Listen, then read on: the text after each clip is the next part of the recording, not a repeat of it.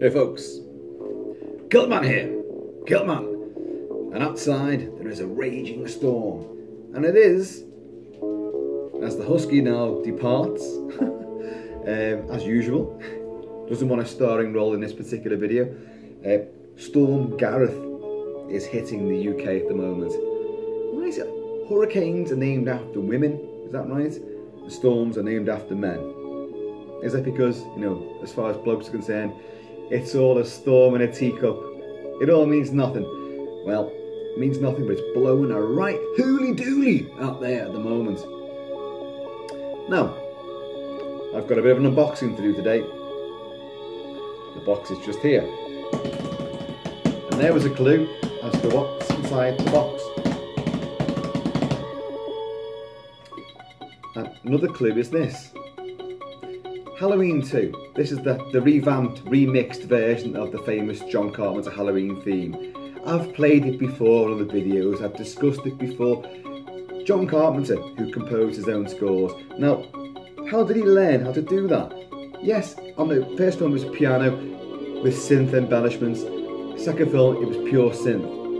But how did he learn that, that incredibly up-tempo, fast beat? Well, his daddy, Big Carpenter Sr., was a member of a jazz band in Kentucky, Bowling Green, Kentucky, and he taught because John Carpenter has no musical background at all.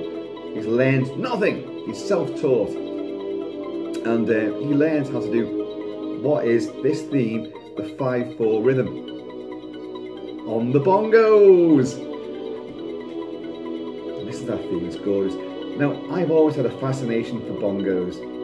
I've never played them in my life. Never. I haven't got a clue how you do it. But I just love the sound of it. And I'm a founder believer in the fact that whatever piece of music is playing, it can only be enhanced by bongos. So finally, finally, courtesy of Amazon Prime. Now, I'm not giving them a shout out to try and get things for free at all. No.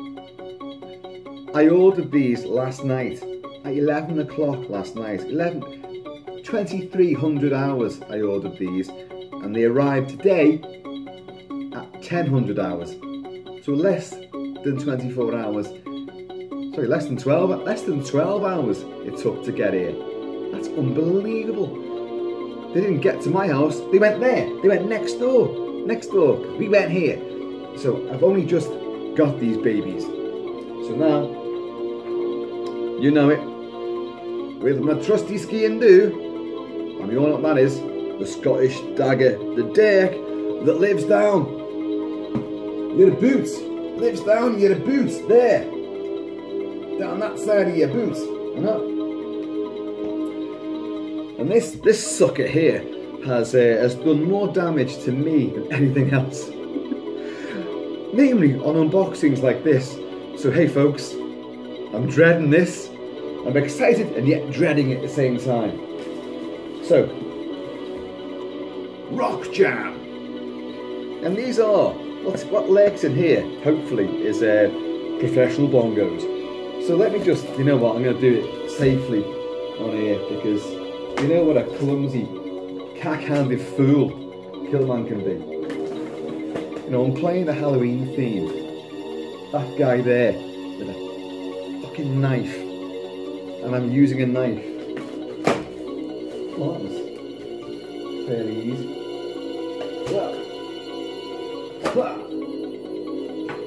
So, yeah, that's good. So you can see what's going on here. Ooh, we have more cardboard. Look. Nice little. Aha! Now look, look at this. Oh, this is nice. Nothing else in there. It comes in its own little sports bag, its own little sports hold all. Off you go. Off to the gym with your bongos. Let's have a little look at this. Come on. Right, I'm going to get into this. That's, that's a nice little bag, actually. Okay, so let's... Ooh, here they are. Okay, there's something else in here. There's a little... Dear customer, We hope that you are delighted with your purchase. However, if you find any issues, like the fact that your hands don't really work on them and you're getting no good sound out of it, um, you can, oh, you can swivel. Oh, charming. Actually, these are highly recommended. Rock Jam. Rock Jam, they're called. Folks, there they are. There's the skins. There's the thing that you hit. You get a big one, a smaller one. Big one, a smaller one. Do you like my bongos, boys? Why is one always bigger than the other? Uh, they're joined together there, and wonderful stuff they are too. Now, now, this is a natural finish. This, ooh, that's a good sound already. Um, do you know what? After I bought these, I discovered because in my haste to buy some bongos, when I finally thought, no, I'm going to do it. So last night I thought, go on Amazon, find these bongos, and there was page after page after page of bongos, and I, I read the reviews and I thought, yeah, they'll do. You know, they're not they're not that expensive, you know, and they'll they'll be good, they'll be fine. And only after I bought them, in fact, only this morning on the way to work on the train, and I was googling pictures of bongos, did I find some tartan fucking bongos. Kilt man, should have had them. And what it was was these bits here, this uh, this shell, this sort of veneer, um, was in, in the Royal Stuart tartan. Shit! Would have been ideal. I'm actually wearing the Stuart black right now. Neat now.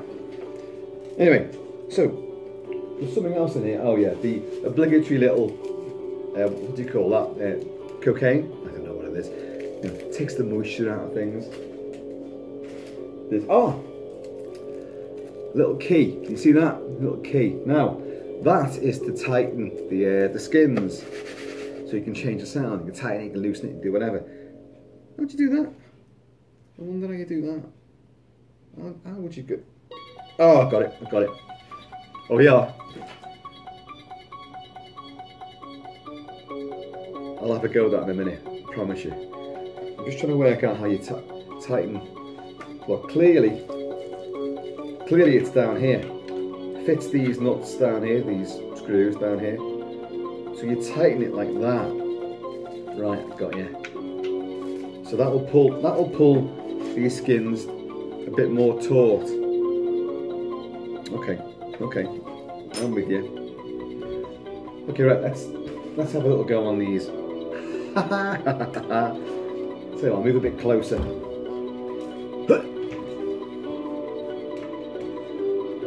Reposition myself. And uh, tell you what, I'll, I'll, we've heard the, the theme. How hard can that be? How hard can that be? Well, we'll find out, won't we? It's probably better if I played the music alongside. It might disguise, you know, just how much I screw this up. Um, I'm not sure which way around they're meant to go. But let's just have a little go at this. I've never done this before. so hang on, hang on.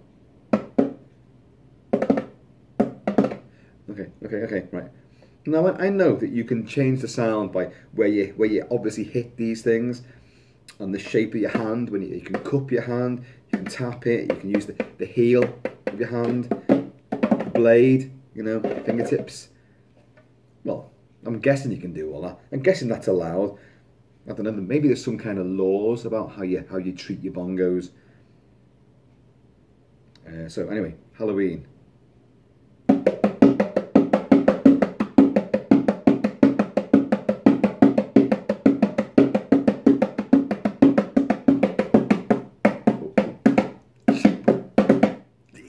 Off somewhere there.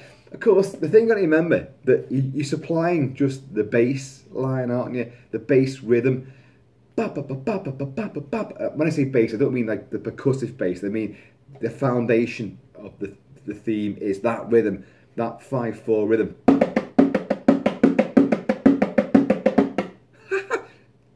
Actually, it's not that easy.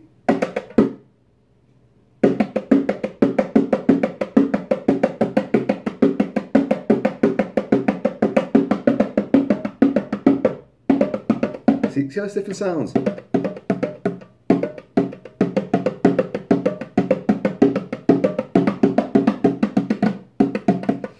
It's kind of a bit of that as well, you know, like this. Can you pat your head and rub your chest at the same time?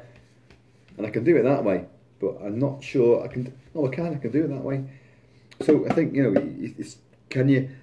People can drum and they can drum and strum and you know hum, but I think it's going to take some working out. Obviously, it's a trial by error. I've just thought of another, another theme, heavily influenced by bongos.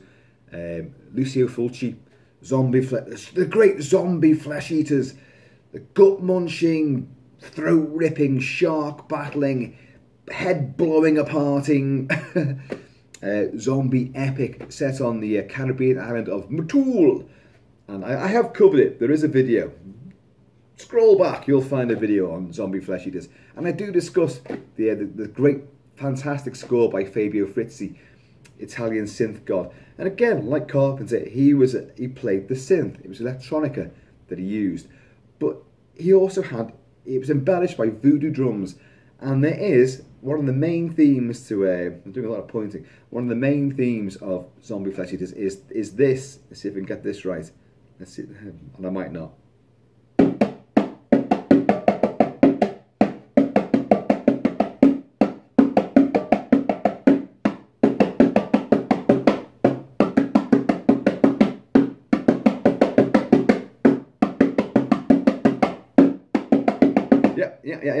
Of course, obviously, you've got to remember that there's other rhythms that and motifs that come into that and add flavour and colour to it all. So this this is just, you know, there's a lot. And of course, you could you could attach them you know, on a little belt, a little sort of belt system, a harness, and you could walk around the streets, busking around Liverpool. Kilt man, kilt man, tapping his skins. Yeah. If you rattle the blade of your thumb against it. Let's do a spider effect.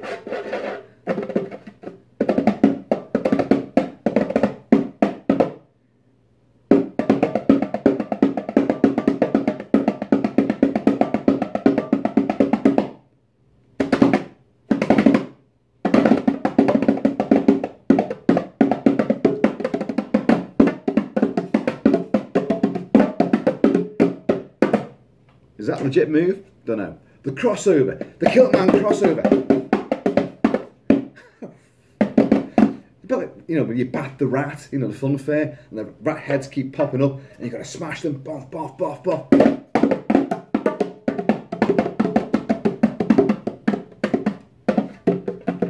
You know, watching this right now, there's going to be some people who go, I can play the bongos, I can play the drums, I can play spoons, you, kill Kilt Man, you can't play shit. You can't play anything. You're absolutely bloody rubbish. You know what? I probably am. I probably am. But I've just got him out the bloody package. I don't know what you do with him. I just love. I just know that I love them.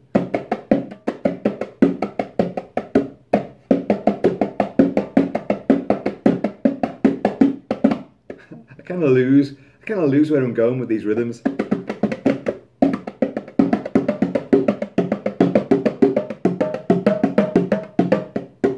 Suppose you can even...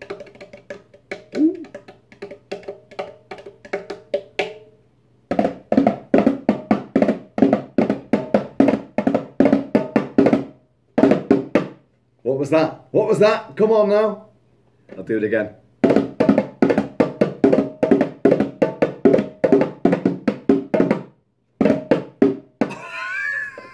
I fucked it up at the end. Uh, well, whatever. Whatever let's, let's try some little hand jiggery pokery.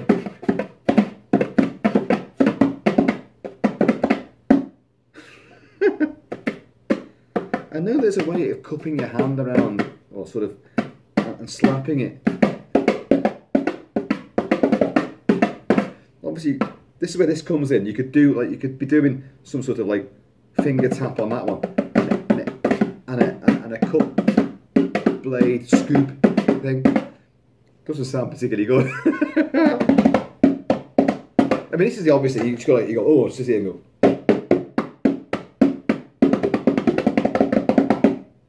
Gonna have some voodoo beat going.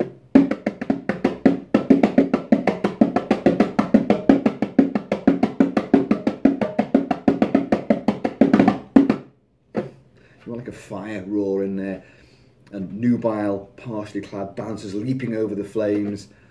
of course, they tend to end up like rip, slit, slitting chicken throats and pouring the blood all over themselves and having orgies. So it ain't all bad, is it? Unless you're vegan. Vegan voodoo! Hey, I'm a vegan and voodoo practitioner. That's what I am.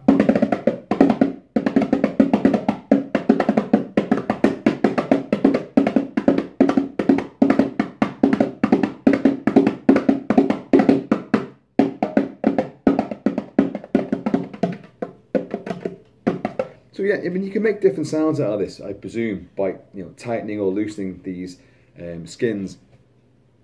And uh, I love them. You know, I, I really, I don't know what I'm doing. I that's no shock to you guys, is it? That Killerman hasn't got a fucking clue what he's doing with these babies. But tell you what, let's, let's go back onto Halloween. Let's just see if you can pick up what I mean uh, by this. Let's go. This is classic moment. It's like Halloween 2. Where the, it recaps the end of the first movie.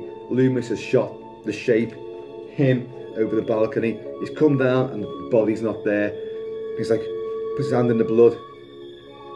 And the guy from next door comes out and goes, he goes, What's going on? I've been trick or treated to death tonight. And Loomis turns around and goes, You don't know what death is. And then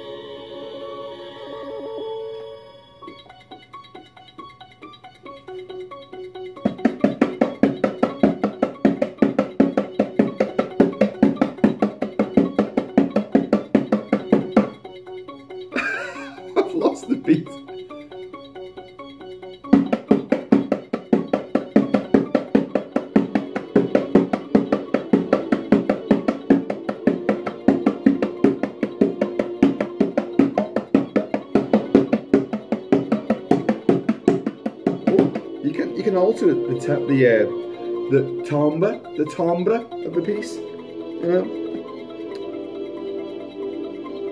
You know, kind of wish I had a you know John Carpenter just there, just kind of off camera with the synth, you know, with his cool ponytail and his shades on.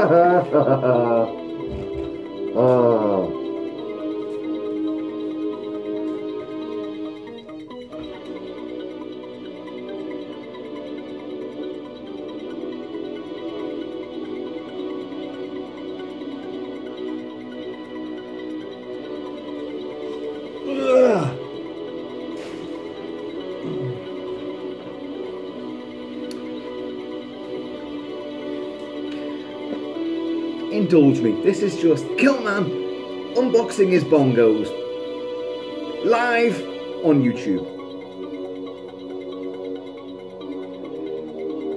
You never thought you wanted to see it, but you got it anyway.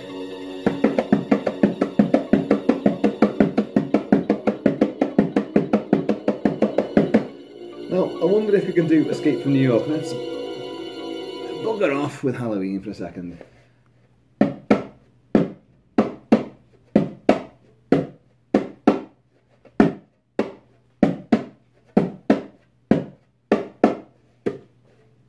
Effective, is it? How does the um, the Duke of New York stuff go? Um, oh God, how does it go?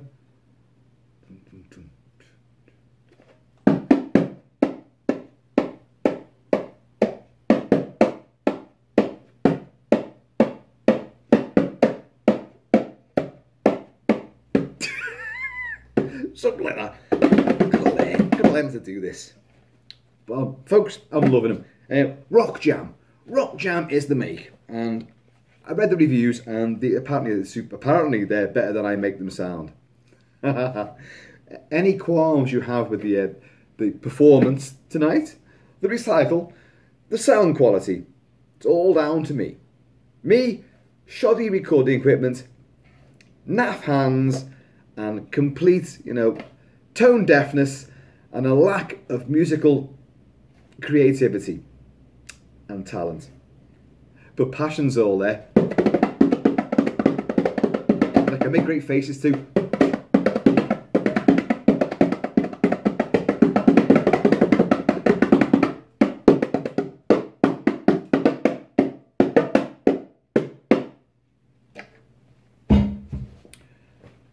Now, folks, that'll do for now. That'll do for now. Plenty more stuff to come. And um, another unboxing, hopefully tomorrow. I've got stuff arriving tomorrow as well. Masks! Oh, yes! Oh, yes! Oh, yes! So, not that mask, not Halloween masks, but ooh, from two classic horror movies. Two classic horror movies. Oh, yeah. Can't wait. So, folks, I'm going to leave you all for the time being to contemplate the beauty of the bongos. Just exactly what they mean to mankind and how they've played a, a huge part in the history of society. Uh, in the meantime, take it easy, drink whiskey, have fun. If you can, sport a Snake Plissken, you know, vinyl, shiny, wet look sleeveless, muscled, muscle t-shirt with trendy, you know, shock rock zips in, if you can. And um, get yourself a pair of these. They're not expensive at all. Obviously, obviously, you can go up in price. Um, but these were 30 quid, the princely sum of 30 quid. And, you know,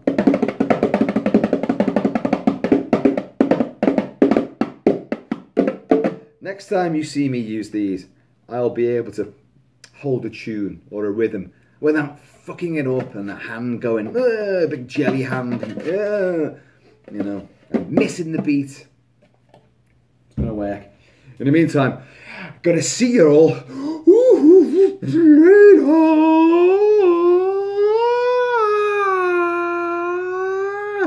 Bongos are where it's at. Don't forget it now.